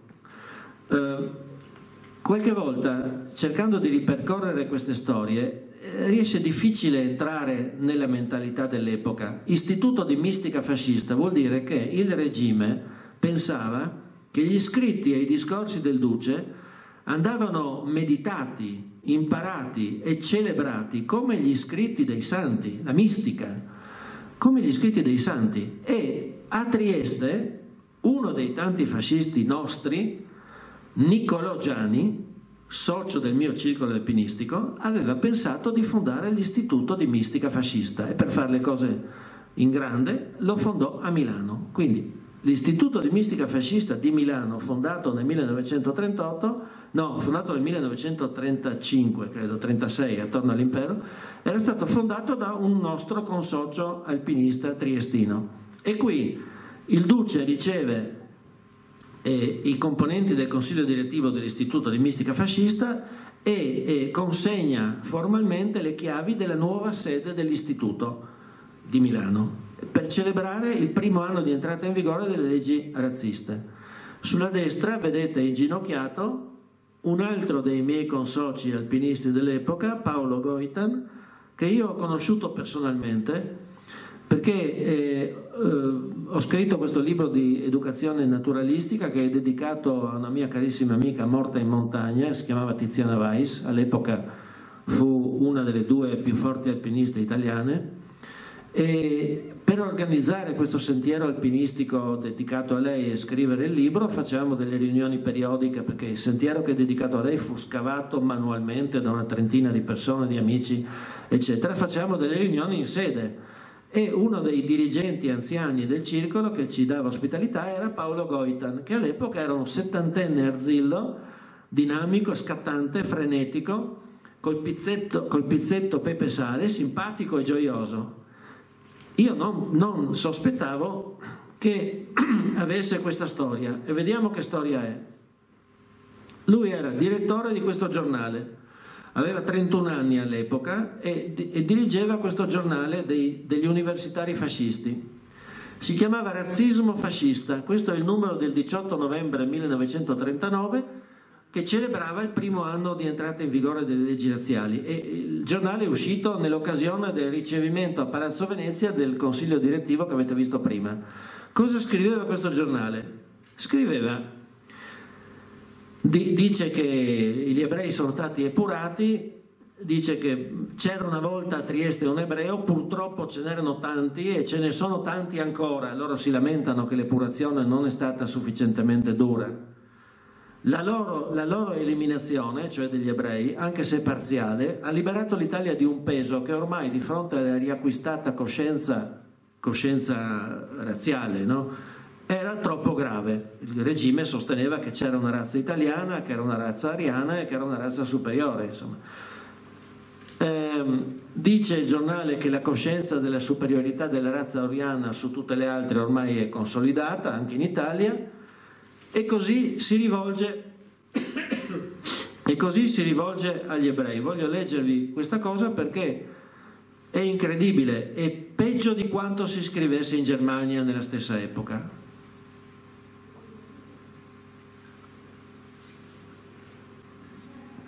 Così scrivevano rivolgendosi agli ebrei e avevano vari, avevano avuto vari ebrei nel circolo alpinistico, persone con cui andavano alle festicciole, andavano in montagna.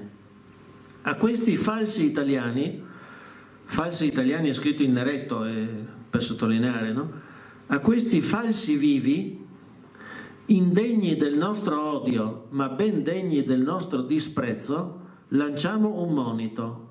A stroncare la loro subdola attività non esiteremo se sarà necessario di fronte a nessun provvedimento, anche se energico Ritorneremo, se sarà necessario, al santo manganello e a quell'impareggiabile disintossicante integrale che è l'olio di ricino e gli universitari fascisti saranno in prima linea.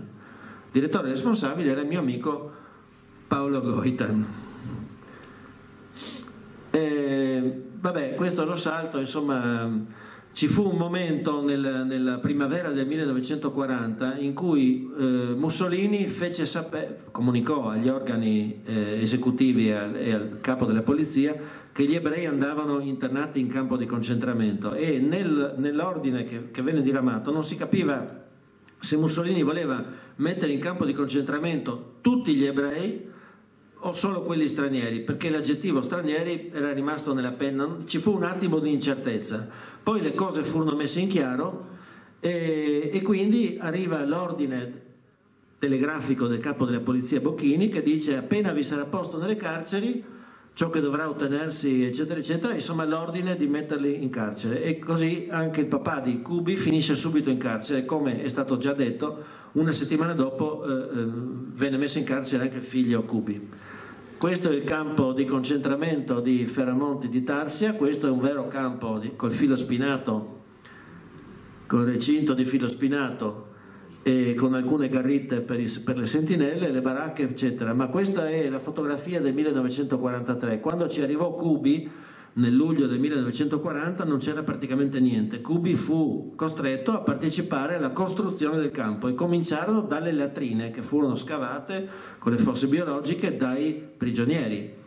E si trattava, capisce, capite, di, di insegnanti, di commercianti, eh, gli ebrei stranieri, erano, qui, qui sono capitati dei medici, degli avvocati, ehm, anche persone che non avevano mai usato un piccone in vita loro e furono costretti a, a costruire il campo. Ed ecco che eh, arrivano le prime lettere al campo di Ferramonti destinate a Giacomo Nagler, campo di concentramento a Ferramonti, provincia di Cosenza, eccetera. La prima lettera viene subito censurata. Eh, il campo di Ferramonti era eh, sorvegliato da un reparto della milizia fascista che si segnalò per, per, il rigore e anche la cattiveria nei confronti dei prigionieri.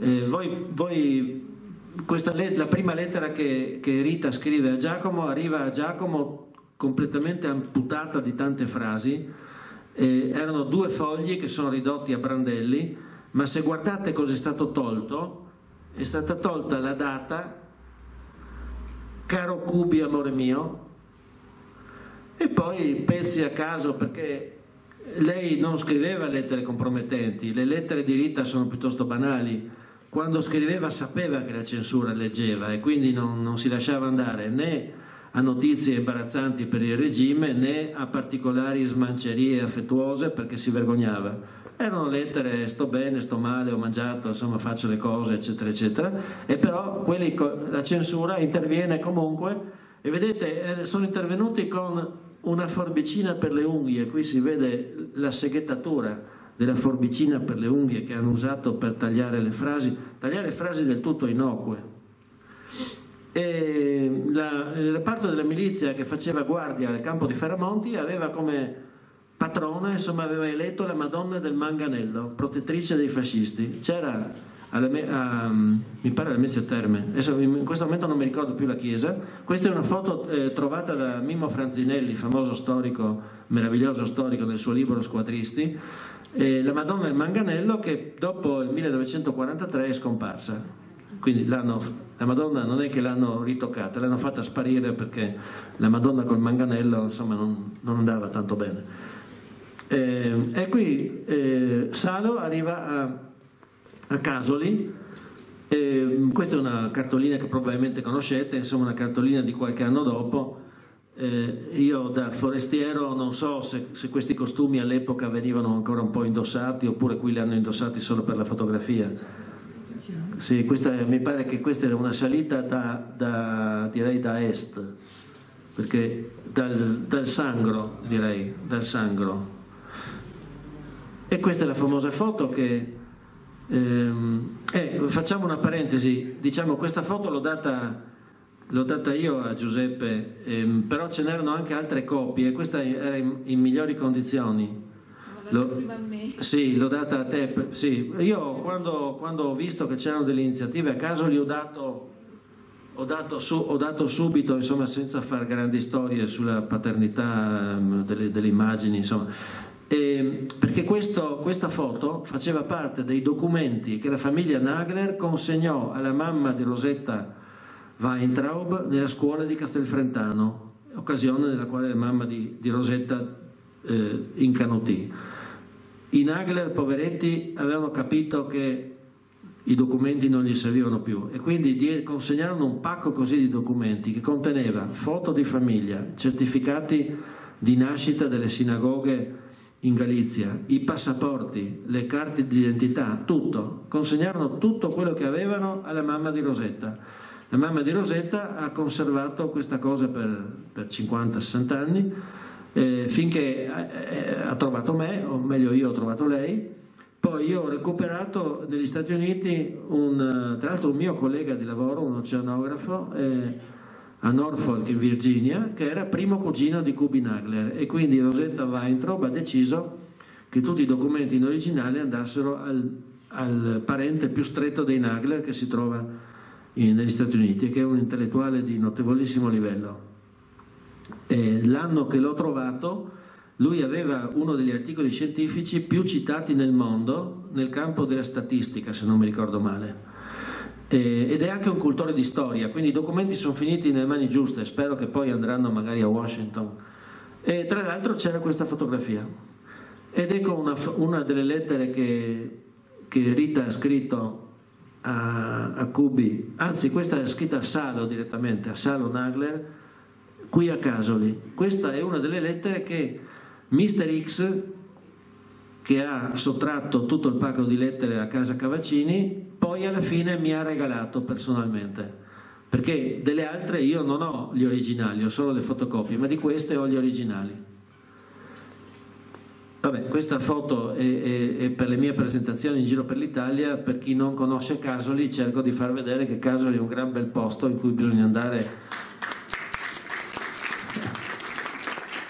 E un gruppo, un gruppo di sci alpinisti triestino, io faccio sci alpinismo, un gruppo di sci alpinisti triestini su mia indicazione è venuto a fare il Monte Amaro eh, con cui non bisogna scherzare, soprattutto quando ghiaccia, bisogna stare molto attenti. E vabbè, questa foto è conosciuta, questa è una delle cartoline che, che Kubi Nagler ricevette dai suoi compagni, chiamiamolo di prigionia, eh, quando nel maggio del, del 41 maggio-giugno, adesso non mi ricordo il mese esatto, eh, eh, gli ebrei furono mandati via da Casoli, eh, distribuiti in altri campi di concentramento al confino, eccetera, per, eh, vennero mandati via perché qui dovevano arrivare gli sloveni, i civili sloveni fatti prigionieri in giro per la, per la, per la ex Jugoslavia. E, e quindi però i legami di amicizia stretti tra Cubi e altri ex detenuti eh, di Casoli perdurarono e qui per esempio c'è Sigfrido Lager che scrive una cartolina di saluti a Giacomo che, ancora, che ormai è andato a Castelfrentano, non è più a Casoli, si è ricongiunto col papà e la mamma a, a Castelfrentano. E vedete queste sono le cartoline, io non mostro queste cartoline agli storici, le mostro alle persone normali come me. E le cartoline che all'epoca si mandavano avevano scritto vinceremo, vinceremo. E sotto banco eh, i primi antifascisti dicevano col C che vinceremo. Però vinceremo, insomma. Eh, nel frattempo a Trieste monta l'antisemitismo, qui vedete le entrate della sinagoga deturpate con la tracciatura di croci. Questo è particolarmente imbarazzante perché ci fu una contestazione che non era strettamente nazista, fascista, era anche, era anche religiosa da parte del, del, cattolicesimo tradizionalista, che non aveva in simpatia gli ebrei, per motivi religiosi. Quindi la profanazione è mista, politica ma anche religiosa. Qui c'è un, un negozio di scarpe, uno dei più belli della città, rovinato insomma nel, nel 41, anzi... Eh. Ecco, questa è una fotografia è la, una delle fotografie del matrimonio di una delle migliori amiche di Rita e guarda caso migliori amiche anche di mia madre. E lei si sposò precocemente un po' nel giugno del 42. Ormai era chiaro che le cose buttavano male. Molti ebrei triestini erano già scappati a causa delle leggi razziali del, del 38 e, e anche loro volevano emigrare.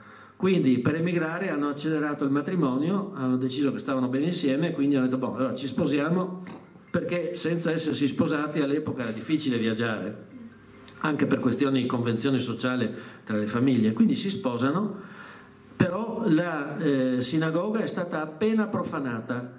Qui è l'uscita laterale della sinagoga di Trieste. Sembra una circostanza normale, vedete le persone ben vestite per il matrimonio, però la foto successiva ci fa vedere la porta da cui sono usciti, è questa, e durante la profanazione sono state disegnate una svastica, un fascio littorio e sulla porta, allora la porta era già stata frantumata in un, in un pogrom precedente ed era stata protetta con un tavolato di legno e questa volta sul tavolato di legno sono state dipinte delle croci cristiane, che naturalmente sono incompatibili con un edificio di culto ebraico. E infatti eh, gli addetti alla sinagoga cancellano il, il, giorno stesso, in serata, cancellano le croci dal, dal tavolato che difende la porta, ma non hanno il coraggio di cancellare la croce uncinata e, e il fascio littorio. E infatti la prossima fotografia ce lo mostrerà. Cosa succede? Che eh, i due fidanzati si sposano, però il matrimonio avveniva in due tempi, perché il rito era tra ebrei e poi veniva trascritto all'anagrafe, quindi il giorno dopo c'è il matrimonio anagrafico. E loro, per una circostanza che non so, poi tornano anche in sinagoga, forse a porre la propria firma, c'è un, un rito doppio. Quindi il giorno dopo sono di nuovo vestiti a festa, con meno invitati, solo i parenti, e vengono in sinagoga. E questa è la fotografia. Vedete, adesso ci sono le croci, il giorno dopo non ci sono più le croci, sono state grattate via. Si intuisce forse un'ombra di croce, ma la croce non c'è più. Svastica e fascia littoria ci sono. E la fotografia è bruciata. Perché è bruciata? perché appena usciti in strada, qui c'è un portico, qua sopra c'è un portico, appena usciti in strada gli invitati sono stati affrontati dagli squadristi fascisti che presidiavano la sinagoga i quali hanno preso la macchina fotografica del tizio che aveva scattato le fotografie e l'hanno aperta per rovinare le foto.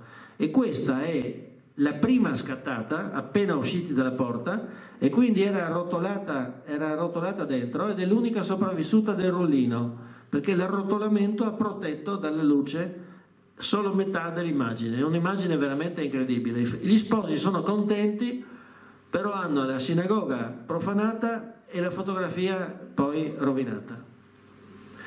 E, ehm, quando la famiglia Nagler viene catturata a Castelfrentano, eh, viene poi rinchiusa alla fine in una specie di campo di prigionia a Chieti. Adesso eh, qui l'aiuto degli storici esperti di cose anche locali è importante perché io non ho mai approfondito dove fosse questo campo di prigionia eh, anche per eh, militari alleati, credo. Fatto sta che eh, nel novembre del 43 la famiglia Nagler manda due cartoline alla famiglia Rulli di Castelfrentano. Sono cartoline, sono gli ultimi segni di vita, sono gli ultimi segni di vita della famiglia Nagler, due cartoline. E sono, è evidente che hanno paura, però hanno la possibilità di mandare due cartoline e si firmano ingenuamente con nomi falsi e evidentemente vogliono comunicare qualcosa a un certo Arturo di Castelfrentano, che non ho capito chi fosse. Loro avevano affittato una camera presso la famiglia Rulli e quindi vedete, adesso vediamo il retro della cartolina cosa c'era scritto. Allora, alla signora Maria Rulli per Arturo, però per Arturo. Ah, scusate, oh, mi ha ho avuto una, un cedimento di memoria, un piccolo ictus data l'età. Arturo era Arturo Weintraub, il papà di Rosetta Weintraub, scusate, Arturo era Arturo Weintraub, cioè la famiglia dei loro carissimi amici, quelli a cui avevano consegnato tutti i documenti. Quindi i poveri Nagre indirizzano questa cartolina alla famiglia Rulli, ma è per Arturo. E Salo si firma ingenuamente con un nome falso, perché Salo, eh, pardon, Giacomo Nagler si firma Giacomo Modigliano. Giacomo Modigliano.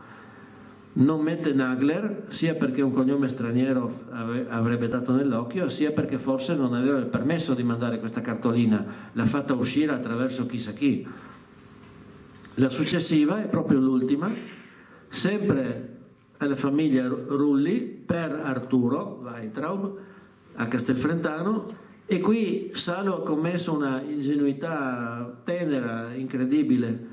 Vedete, ha firmato Salo, stava per scrivere Nagler, qui c'è una, una bozzo di N, che poi ha cancellato con la matita provocando anche una piegatura nella, cart- nella, nella cartolina, nel cartoncino, perché poi ha aggiunto questo cognome falso Bucci, tipico cognome penso locale, quindi si è firmato come Salo Bucci, e anche cancellato, rovinato la cartolina.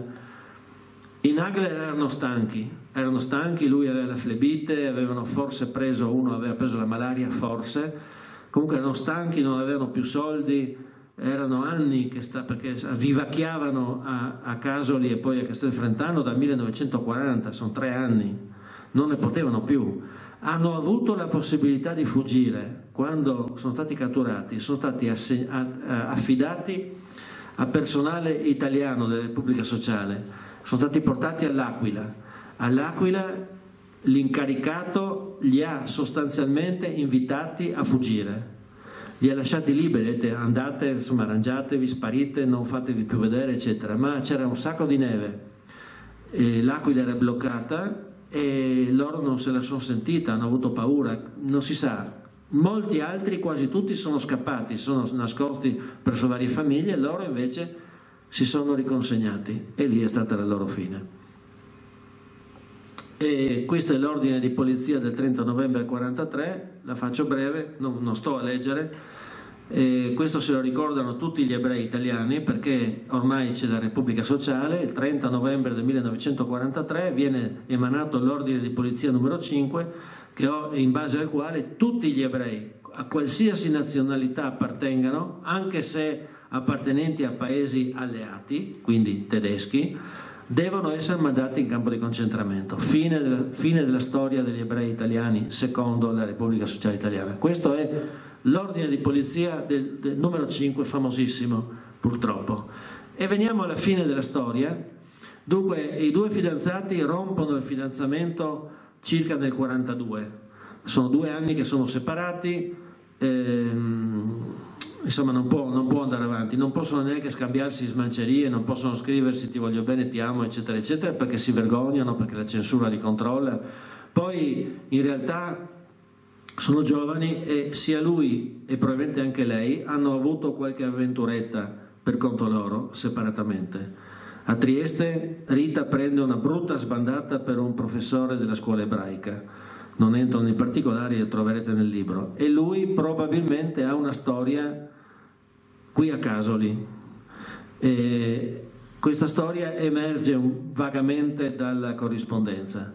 E sapete, gli ebrei, diciamo quelli più giovani che erano a Casoli, erano bene accetti dalla popolazione, erano ragazzi colti, ben vestiti, li avete visti, insomma, spesso sapevano suonare strumenti musicali, avevano cultura, eccetera, e alcune famiglie li hanno accolti bene, insomma, qualcosa probabilmente deve essere successo. Fatto sta che il Podestà ha preso anche dei provvedimenti contro Cubi perché intratteneva qualche rapporto troppo intenso con ragazze del posto, una ragazza, non si sa, una in particolare. Nel libro questa cosa viene ventilata in maniera con nomi falsi, insomma, ehm, però qualcosa c'è stato. Fatto sta che viene rotto il finanziamento. E, e, e arriviamo all'8 settembre 43, Trieste viene annessa al Terzo Reich, Rita sa che la famiglia è nel mirino dei tedeschi, perché lei ormai ha intrattenuto qualche attività, ha svolto qualche attività a favore dei profughi ebrei che vogliono anche scappare in Svizzera, e c'è una spia famigerata ebrea del, il figlio del sarto Grini, che ha bottega in, nella stessa via loro di, di, Cubi. Cubi è il numero 12, questo sarto ha bottega il numero 30 della stessa via ed è uno, una spia spietata che vende i correligionari a 5.000 lire al pezzo e ne ha venduti circa 250 in, eh, guidando le SS a Venezia fino a Torino e nel Veneto.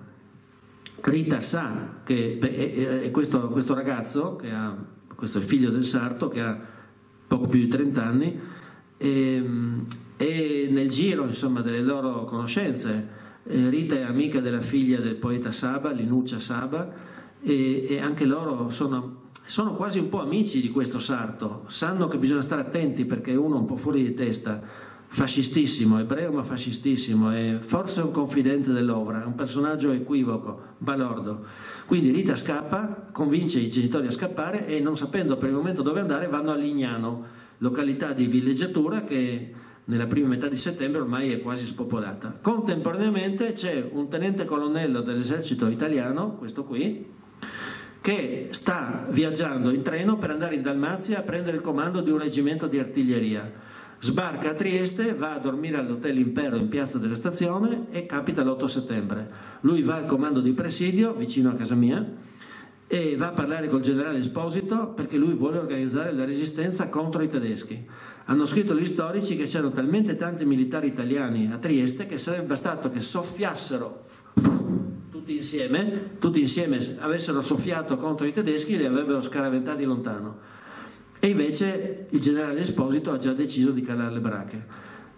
Lui, che è un fegataccio, si arrabbia, stavo per dire un'altra parola, si arrabbia fortemente e comunque capisce che non c'è più. Lui aveva preso il fucile e un paio di bombe a mano e insieme ad altri due era andato al comando di presidio a dire adesso li, adesso li cacciamo via.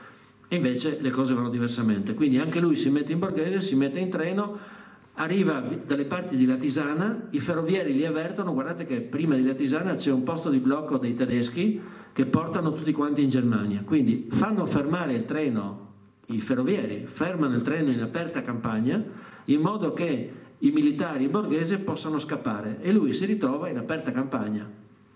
Passa una corriera, la fermano eccetera e si ritrova a Lignano A Lignano ha scritto un libro di memoria, ha avuto il buon gusto di scrivere un libro di memoria che io ho acquisito e mi è servito moltissimo e lui racconta, era un ufficiale italiano normale che aveva i suoi bravi pregiudizi antisemiti addirittura. Infatti lui racconta, capito a Lignano e mi, mi, accorgo che è pieno di turisti, ma chi sono questi che, che festeggiano, qui vivono, non è più stagione di turismo, ma sono tutti ebrei. Eh sì, quello lì ha le tipiche fattezze della razza ebraica. Sì, sì, guarda, guarda, guarda che sono ebrei.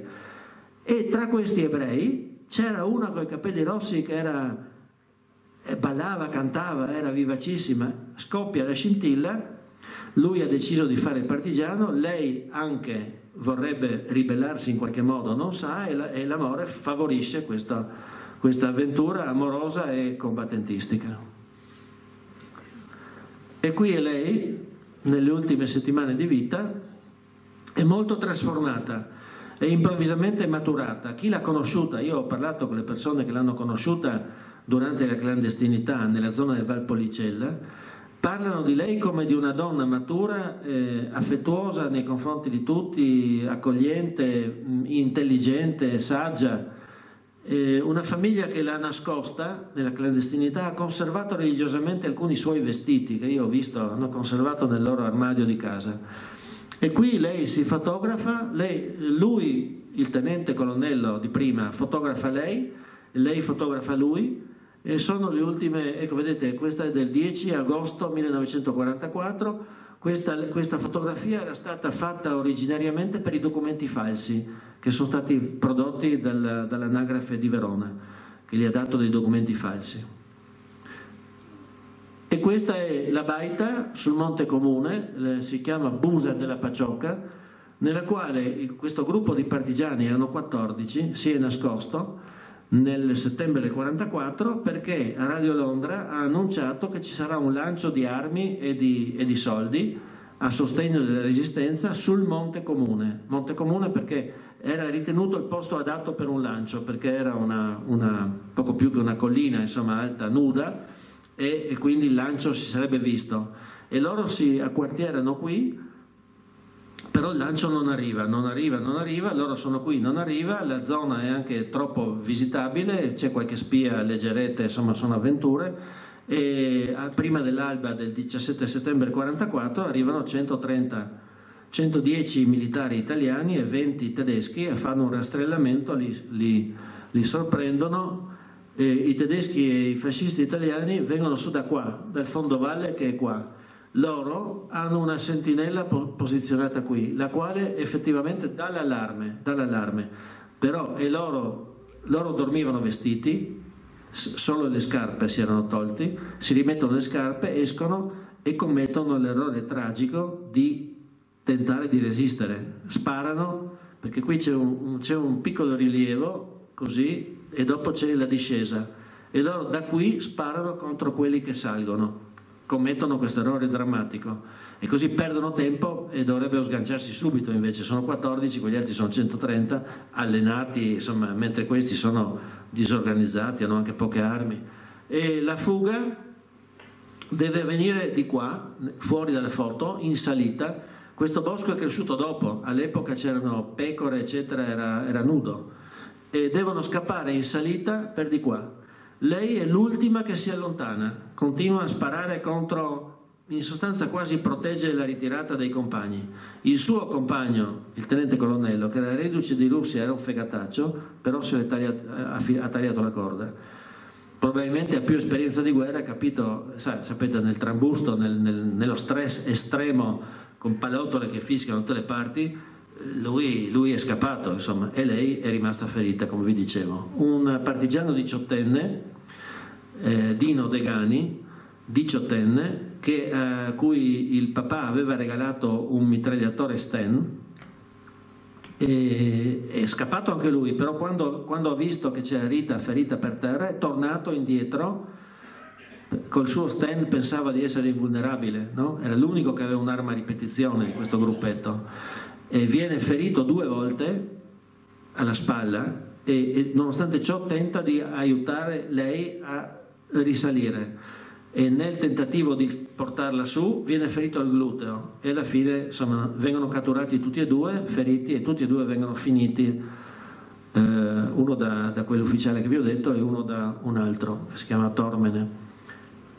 E questo è il biglietto che il, il parroco della zona fa, riesce a far recapitare la famiglia di Rita a Trieste. C'erano canali strani attraverso i quali si riusciva a comunicare. Il prete, probabilmente attraverso i canali ecclesiastici, non so come conosceva l'indirizzo, eh, no, non conosceva l'indirizzo della famiglia, però sapeva che era della comunità ebraica triestina e quindi questo biglietto ha raggiunto la comunità ebraica triestina, non so come, e c'è scritto Signor Lodovico, che è il papà di Rita, Lodovico Rosani. Signor Lodovico, eh, se non vi fu ancora comunicato, sappiate che in seguito a incidente la vostra figlia Rita sta male, e molto male. Nella vita, specialmente per alcuni, quasi continue sono le pene e ben poche le ore liete. Non siamo fatti per questa terra. Puntini puntini. 20 settembre 1944, Rita è morta tre giorni prima. Questo è il biglietto con cui comunica ai genitori che è morta in sostanza. Eccoci, fine. Grazie, grazie a Livio Sirovic per questo riassunto esaustivo, ma comunque avete capito che il libro è denso di informazioni e che insomma merita di essere letto perché si, si imparano tante cose in, in questo volume. Io invito il sindaco per i saluti conclusivi di questi due giorni.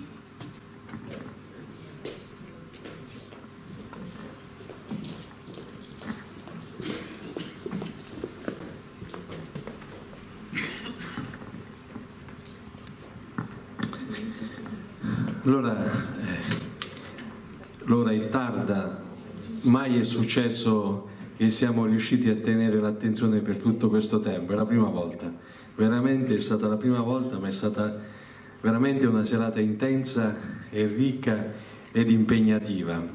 Io non voglio dilungarmi su pensieri aggiuntivi, voglio ringraziare Livio, professor Orecchioni, la preside della Morgia, eh, la presidente Ampi, la signora Cecilia e Giuseppe Lorentini e tutti quanti voi per, per essere stati molto attenti, presenti in questi due giorni di particolare emozione per me e interesse che abbiamo dato un po' alla nostra cittadina, agli eventi, agli avvenimenti che si sono susseguiti un po' nella seconda guerra mondiale e voglio in ultimo ringraziare eh, tutta l'amministrazione comunale che effettivamente partecipa a, intensamente a questi eventi e volevo ringraziare le scuole, le scuole che effettivamente danno quel sostegno veramente importante a tutti, sia con la partecipazione, sia con la divulgazione, sia con l'impegno che i ragazzi, i docenti e i dirigenti riescono a dare e ad arricchire i nostri avvenimenti. Quindi buona serata a ognuno di voi e grazie e un caro abbraccio a Livio.